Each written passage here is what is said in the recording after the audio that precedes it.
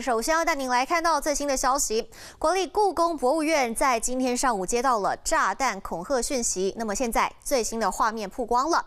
一大早，驻警队就带着警犬在故宫的南北院区加强巡查，连天花板也不放过。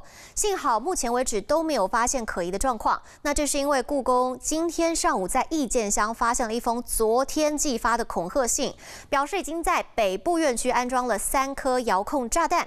南部院区区也装了两颗，而且恐吓要在昨天下午五点半引爆。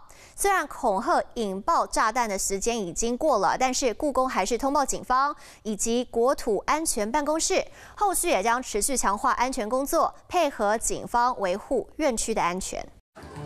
华视新闻看起来，赶快订阅我们的华视新闻 YouTube 频道，欢迎按赞、订阅、开启小铃铛，最新最及时的资讯要提供给你。